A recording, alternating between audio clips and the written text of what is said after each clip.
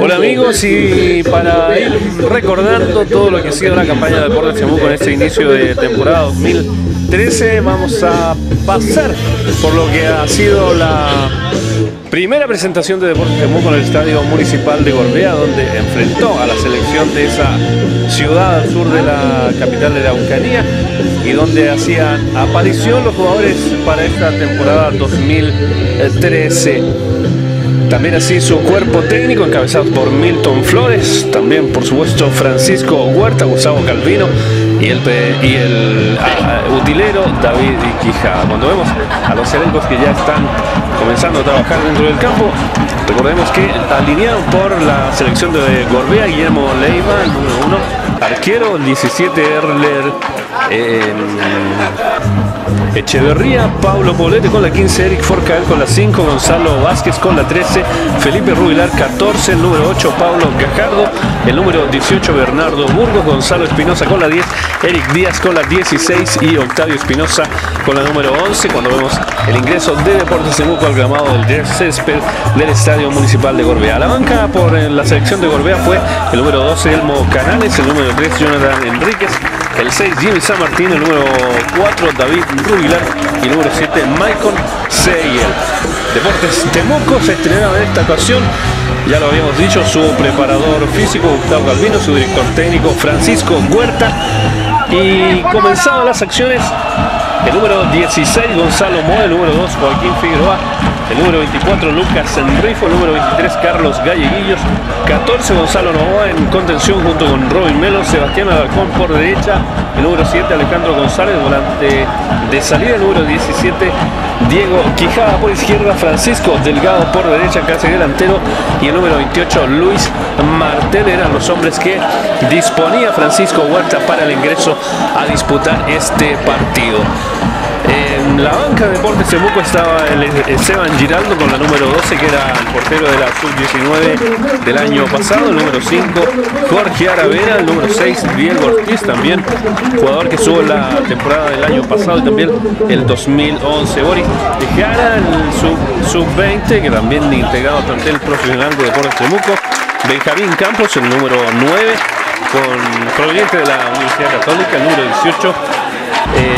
Manuel Simpertegui también de uno de los que ya lleva varias temporadas en Deportes Temuco y el número 17 Francisco Flores proveniente de Unión Temuco. Eran los hombres que eh, citaba al banco eh, Francisco Huerta. Cuando ya comenzaban las acciones vamos a ver cómo planteaba la estrategia el profesor Huerta, el director técnico de Deportes Temuco y aquí se veía las acciones presionando en ofensiva. Número 7 ganaba el balón rápidamente buscaba la posibilidad para que Robin Melo le diera el pase a Novoa Gonzalo Novoa quien estrellaba el balón en la reja de contención del estadio de Gorbea. Nuevamente Alarcón, el número 15, levantando un centro, la aparición por el otro sector del número 19, em, jugador Diego Quesada provocando peligro. Francisco Delgado, el cabezazo de Martel. Aparecía Quijada, convertía la primera cifra, pero el árbitro determinaba que estaba en posición de adelanto Diego Quesada. Otro remate sobre la portería de Guillermo Leiva. Gran trabajo del portero hasta ese momento. Número 16 en Robin Melo era quien remataba sobre el arco de Leiva. Otra vez en Robin Melo rematando y respondiendo eh, muy, muy bien el portero de Gorbea. El centro de González, el cabezazo desviado y perfecto de Joaquín Figueroa mandaba el balón fuera del campo. Otra vez el jugador número 7 esta vez va a buscar a Francisco Delgado que ingresaba por derecha, levantaba el centro, le quedaba pasado Martel, aparecía otra vez Diego Quesada, finalmente Alejandro González remataba, remataba sin peligro para el arco de Guillermo Leiva. Nuevamente otro remate de Alejandro González, jugador proveniente de San Antonio Unido, traído exclusivamente a petición de Milton Flores, el gerente técnico de Deportes de aquí la gran oportunidad, el número 5, Eric Forcael, e intentaba rematar sobre la portería con dificultades para la defensa de Deportes Temuco, pero sin peligro para el arco de Gonzalo Mol, que también proviene de San Antonio Unido. Alejandro González otra vez llevaba peligro sobre la portería de Guillermo Leiva. Aquí Martel, Quesada, el centro, despeje. La aparición de Robin Melo, rematando ya en reiteradas oportunidades sobre la portería de Guillermo Leiva. Otro pase en profundidad. El remate sobre la portería y la gran respuesta nuevamente de Robin Melo.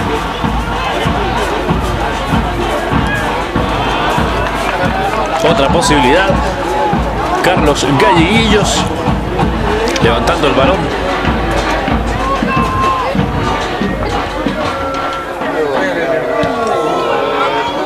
Un cabezazo desviado de Martel, el remate de Robin Melo, no llevaba Martel ese... Bueno, era remate al arco, así que era imposible pensar que podía cabecear Martel. Le pase hacia atrás, Novoa. Ahí está Alarcón. Viene el remate sobre la portería. Y era la inauguración de la cuenta, la apertura del marcador. Un remate desde fuera del área. Gran predicción del número 15 en este caso que vistió la camiseta número 15 en este partido. Oficialmente es el número 10. El jugador Sebastián Alarcón. Ahí está otra vez en repetida la maniobra. Nada que hacer el portero. Sebastián Alarcón esa vez con la número 15. Marcaba la apertura de la cuenta para Deportes Temuco sobre este equipo de Gorbea.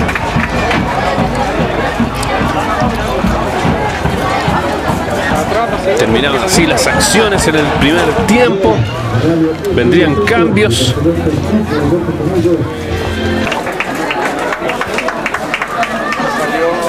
Ingresaba, por ejemplo, el número 17, Francisco Flores, y también Jorge Aravena en defensa.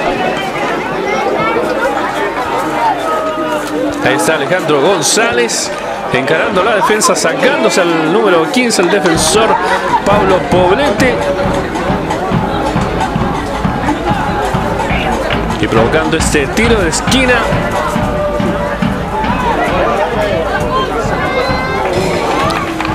Quedaba Flores, Francisco Flores, para arrebatar sobre el arco de Guillermo Leiva. Otro remate cruzado otra posibilidad, otra vez Sebastián Alarcón, un muy buen volante por derecha. Lleva con mucho peligro, ahí está otra vez Alarcón. Esta vez es Bernardo Campos. Quien remata por sobre la portería de Guillermo Leiva.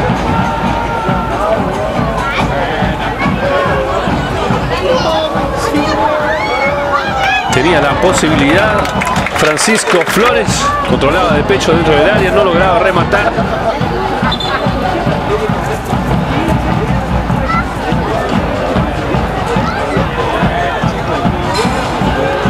Alejandro González, bueno, gran ataque de Deportes Semuco, varias, muchas opciones de poder llegar sobre las redes del pórtico de Gorbea.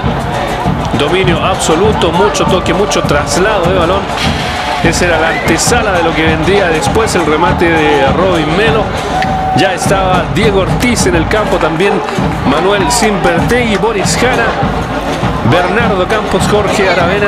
Faltaba solo Esteban Giraldo que eh, no vio acción en esta, en esta ocasión. Otro remate y otra muy buena respuesta del portero Guillermo Leiva.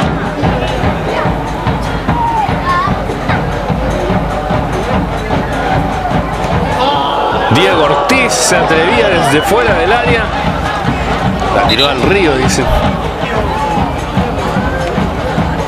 Nuevamente Bernardo Campos. Remate cruzado, se quedaba parado Flores.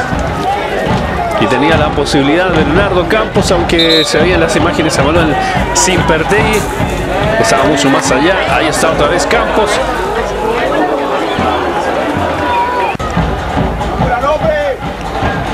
Era Luis Martel finalmente quien remataba el número 18. Otra vez sin Pertegui. Alarcón, Bernardo Campos, el remate de Campos.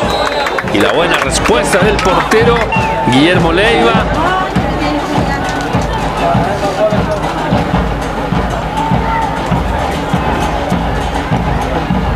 Alarcón, el remate de Robin Melo para marcar el segundo gol de Deportes Temuco. Un remate desde fuera del área dejaba nuevamente sin opción al portero Guillermo Leiva. Nada que hacer la defensa, todos muy agrupado el equipo de Gorbea, pero sin marca. Robin Melo convertía por fin, convertía su gol que quería.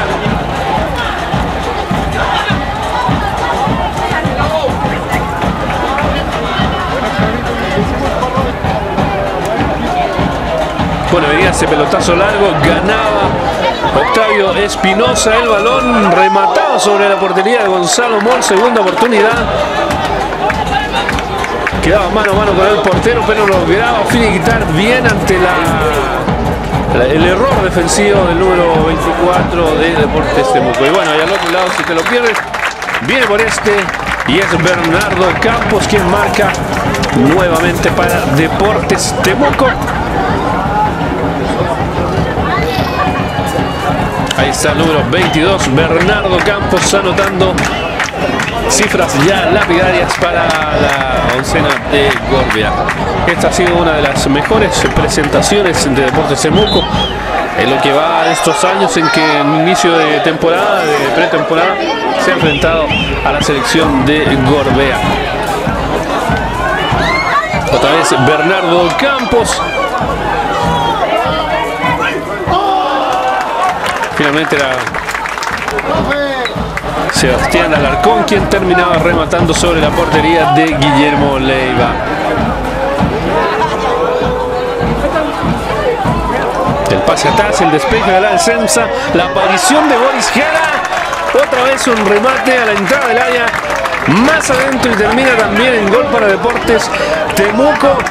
El juvenil que no va a olvidar nunca en su vida, que marcó por primera vez para Deportes Temuco estando en el primer equipo frente a la selección de Gorbea en el estadio municipal de la sureña ciudad de eh, Gorbea. Ahí está el número 28, vistió esa camiseta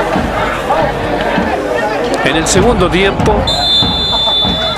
Y así terminaban las acciones. Ganaba Deportes Temuco, no dejaba lugar a dudas. Los dirigidos por Francisco Huerta habían tenido muy buen cometido en esta pasada en el estadio municipal de Gorbea.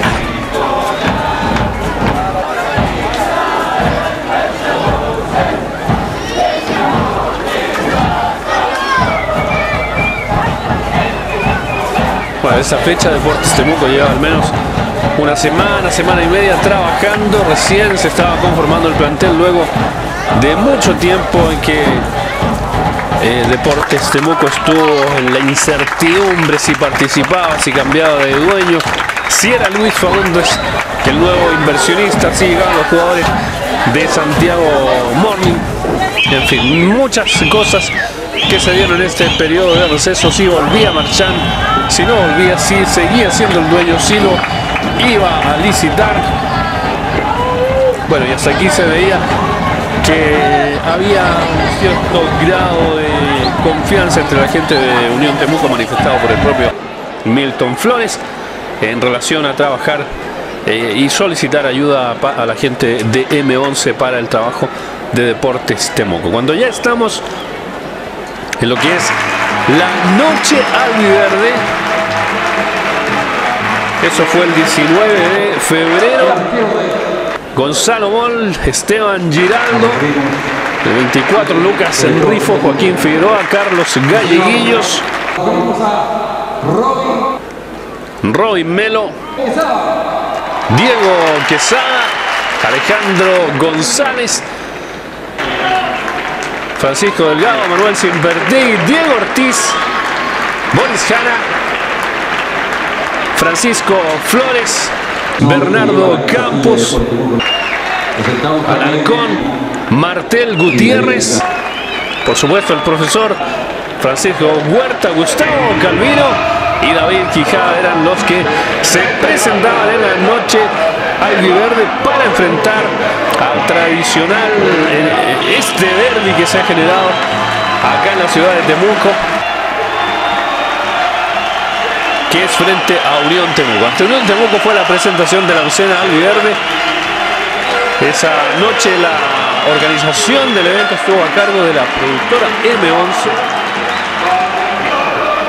Y ahí están los jugadores. La primera fotografía de rigor en esta ocasión. Los 11 que ingresaron a la cancha, Gonzalo Mol, el número 2 Joaquín Figueroa, el número 24 Lucas Enrifo, número 3 Carlos Galleguillos, el número 10 Sebastián Alarcón, Gonzalo Novoa con la 14, Robin Melo con la 16, Alejandro González con la número 7, Francisco Delgado con la 13, Patricio Salas con la 17 y Diego Quesada con la número 8. A la banca fueron Esteban Giraldo con la 11, Jorge Aladena con la 5, Diego Ortiz con la 6, Boris Jara con la 23, Manuel Cibertegui con la 18, 9 Bernardo Campos, 19 Francisco Flores, 21 Luis Martel y el número 15, a ver, el número, sí, Francisco Flores. Claudio Gálvez con la 15 y el número 22 Fernando Gutiérrez. Ahí está el saludo. Francisco Delgado, el portero Mauro Astrada por parte de Unión Temuco, que también alineó a Jaime Soto, Claudio Calderón, Juan Vidal, Jerko Águila, Mariano Rex, Lucas Volken, Oscar Ortega, Francisco eh, Poblete, Brian Llanos y Piero Campos.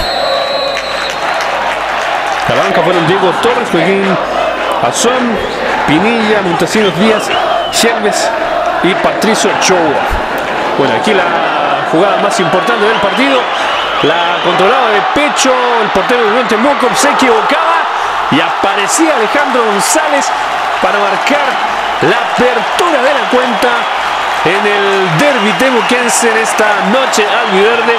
5.000 personas disfrutaban de este gol de Alejandro González ante el grueso error del portero de Unión Temuco, Mauro Astrada. Que le pegaron un pelotazo en el pecho prácticamente, pero tuvo la posibilidad de despejar, pudo despejado largo, no lo hizo, se enredó ante la presión de Patricio Salas, apareció por el centro del área eh, Alejandro González y marcaba la apertura de la cuarta. Bueno, después Mariano Berrier, un tiro de esquina y la aparición del número 17, Lucas Volken para que Unión Temuco empatara el partido ya cuando finalizaba el primer tiempo. Había tenido una buena actuación en este partido Unión Temuco, pero lo que fue la mala suerte en todo el campeonato de Hernán Lisi, la pelota no quiso entrar en el arco de Gonzalo Mole. En el segundo tiempo este penal cobraba una falta sobre Francisco Flores que el jugador número 10, Sebastián Alarcón, quería transformar en gol.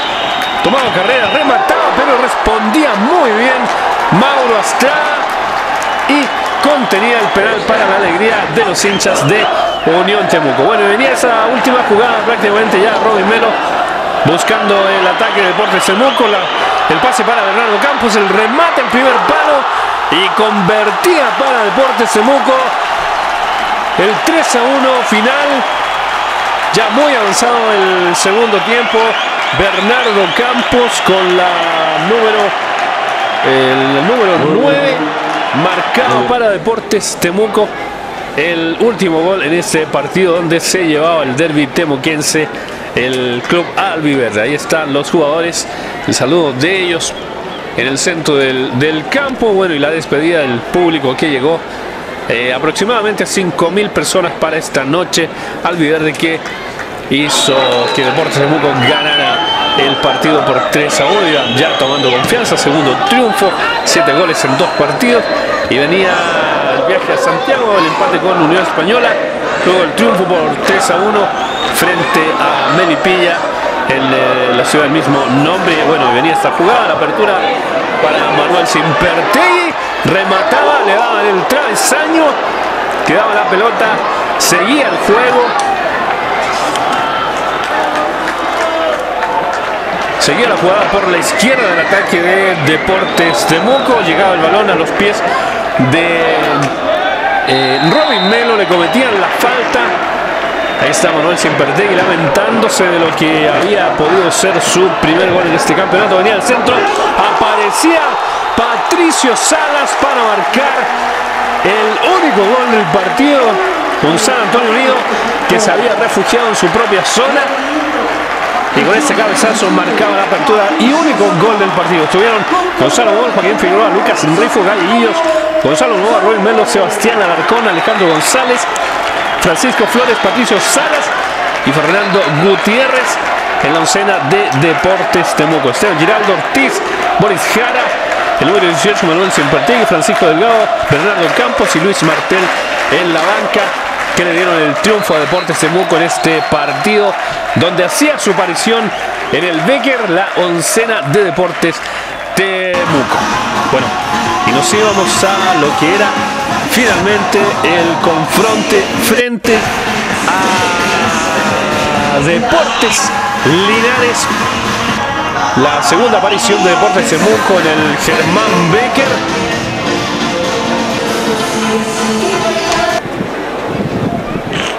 Donde una gran cantidad de público, ahí está la alineación Gonzalo Mor, arco Lucas Cerrejo, Joaquín Figueroa, Carlos Galleguillos, Gonzalo Novoa, Robin Melo, Simpertegui, González, Alejandro Francisco Delgado, Patricio Salas y Bernardo Campos en ofensiva. Esteban Giraldo, Diego Quizada, Fernando Gutiérrez, Luis Martel, Claudio Gálvez, Francisco Flores y Diego Ortiz. En la.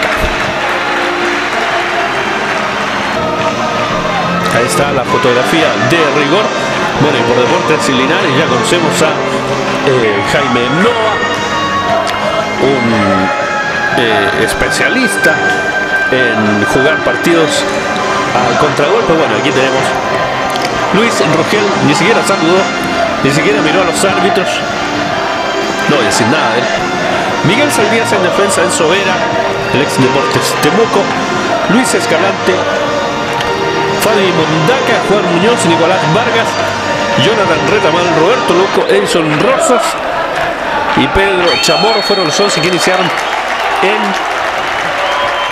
Deportes Linares. Central Muñoz, Freddy Vázquez, Cris Parra, Michael Araya, Fernando Suárez, Cristian Retamal y Francisco Pedraza fueron los hombres que llegó a la banca Jaime Nova, que estaba castigado y que fue dirigido entonces por José Luis Bravo, el ex ayudante técnico de Osvaldo Hidalgo en la temporada siniestra del 2010. Aquí una de las jugadas importantes, Robin Melo remataba para pegarle al travesaño en una de las muchas jugadas de riesgo que hubo en el primer tiempo en el estadio Germán Becker. Aquí otra jugada de Linares que tuvo esta quizás la única en todo el partido donde pudo haber abierto la cuenta número 10 Jonathan Retamal.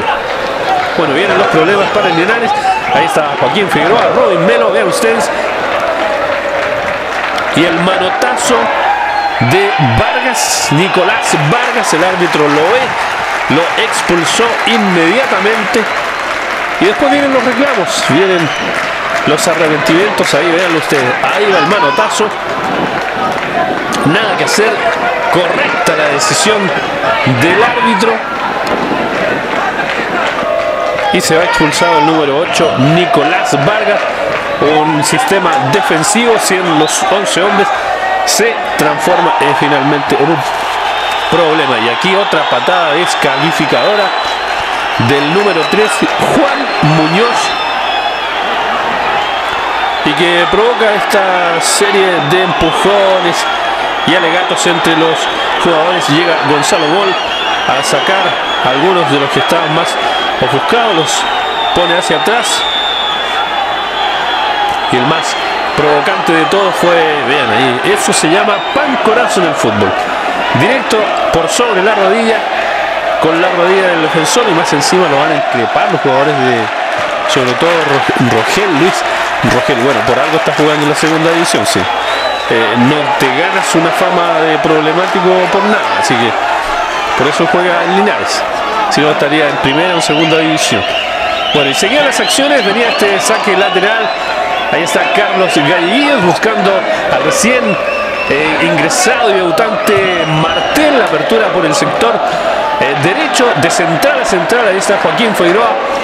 Fernando Gutiérrez levantó la cabeza, miró el centro, el cabezazo del número 9, Bernardo Campos, para abrir la cuenta, abrir el marcador romper el cerco defensivo que había impuesto la gente de Linares y por supuesto la alegría de la gente para celebrar este gol que son tres puntos importantes en la carrera por mantenerse en el liderato de la segunda división del fútbol profesional de la NFP.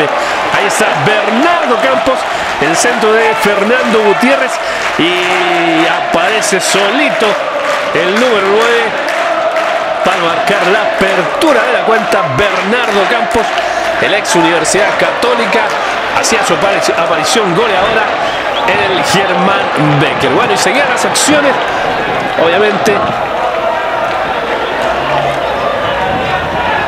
será Alejandro González quien habría para Flores. Un posible penal rematado. Bartel rebotaba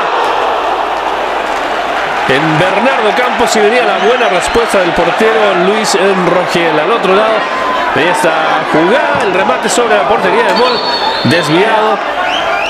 Es el número 24, Fernando Suárez. El tiro de esquina, el despeje de Gonzalo Mol y el árbitro determinaba que finalizaban las acciones, ganaba Deportes Temuco, no exento de problemas ante un rival que está considerado como una de las bestias negras de Deportes Temuco junto a otros equipos del campeonato de la segunda división.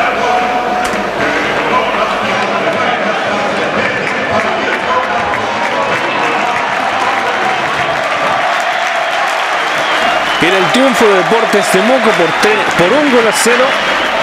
El gol anotado por el número 9, Bernardo Campos, ya en, el minuto 77 del segundo tiempo, para dar la alegría a la gente de Deportes Temuco. Vamos a escuchar las entrevistas y ya estamos de regreso.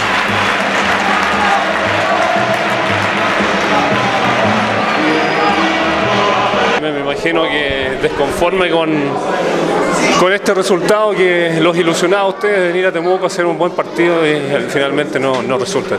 Exactamente. Pensamos que iba a ser un buen partido, no se hizo un buen primer tiempo. Aunque tú no, que tú creas, creo que en el segundo tiempo tuvimos más movilidad que en el primero. Con, con nueve jugadores creo que tuvimos más movilidad que en el primero, nos paramos mejor, en el primer tiempo fallaron algunas piezas individuales. Eh, pensamos hacer un mejor partido, pero igual estamos sacando un resultado, lo cual habría sido muy bueno para nosotros con nueve jugadores. Y la primera expulsión creo que nos compaginó todo. Eso ya, la segunda ya se nos vino un mundo abajo. Pero la primera teníamos todo planificado para hacer un primer tiempo, el segundo tiempo teníamos hasta los cambios preparados, todo. Y la expulsión de, de Nico Vargas, digamos, nos echó todo el andamiaje abajo. Así que, pero son las cosas del fútbol, digamos, hay que estar preparado para eso.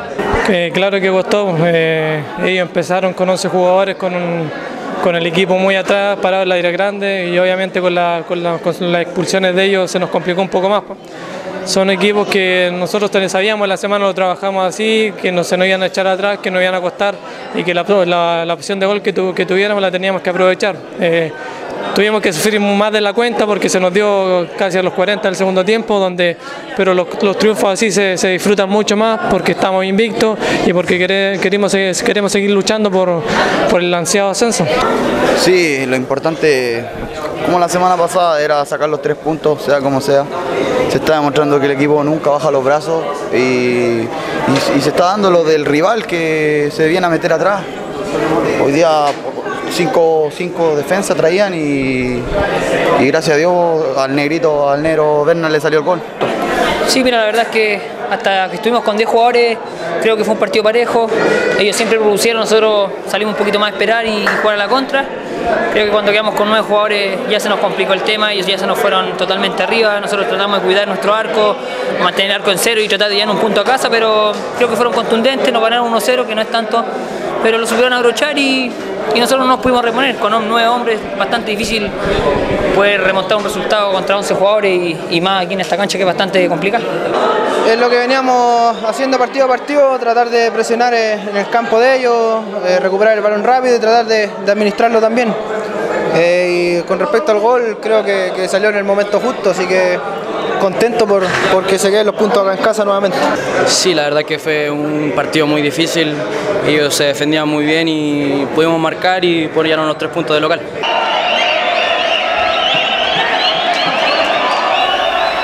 Bueno, ahí estaban las entrevistas con algunos de los protagonistas de este importante partido donde Deportes Temuco ganó por un gol a cero y mientras estamos viendo de fondo lo que fue el gol de Bernardo Campos.